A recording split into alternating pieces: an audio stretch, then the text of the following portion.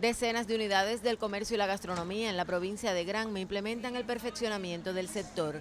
El proceso que incluye un nuevo diseño de funcionamiento, nuevas medidas financieras y jurídicas, la autogestión, la transformación de los establecimientos, la participación de los colectivos en cada momento y otros parámetros, marcha a buen ritmo, según declaró la ministra del sector, Betsy Díaz Velázquez, al recorrer unidades del Plan Turquino en el municipio de Guisa, otras en la ciudad de Bayamo y en el territorio de Jiguaní.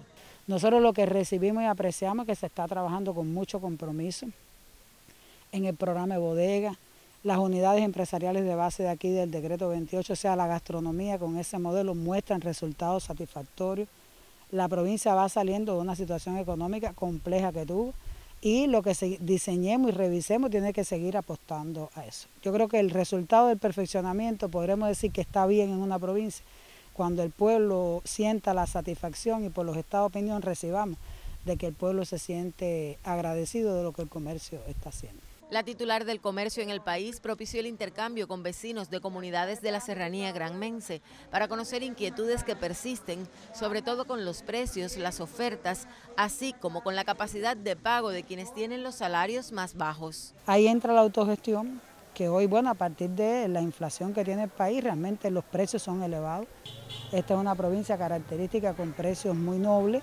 Tenemos que seguir trabajando, hay que elevar la capacidad negociadora, o sea, no solo es comprar por comprar, yo creo que ahí están las reservas, hay que negociar, hay que comparar precios, aun cuando sepamos hoy que el dólar está con eh, una tasa de cambio informal, nada puede costarnos más de lo que pueda tener esa tasa informal, hay que tenerla como referente, hemos llegado a lugares donde un producto triplica el precio que puede tener en MLC, y no podemos permitir, o sea, también tiene que haber capacidad negociadora. Entre los establecimientos visitados estuvieron bodegas, mercados ideales, restaurantes, cafeterías y unidades dedicadas al sistema de atención a la familia en comunidades como Victorino y Ortega de Guisa, donde se buscan alternativas utilizando producciones propias de la zona.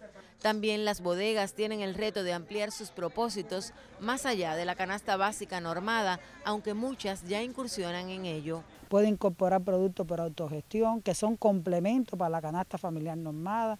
Una bodega mixta puede vender productos de casa comisionista que a la vez ayuda también que el que tenga mercancía disponible la ponga a disposición de los demás. La ministra y su comitiva pudieron comprobar las transformaciones especialmente en la gastronomía granmense que comienza a retomar la calidad de antaño.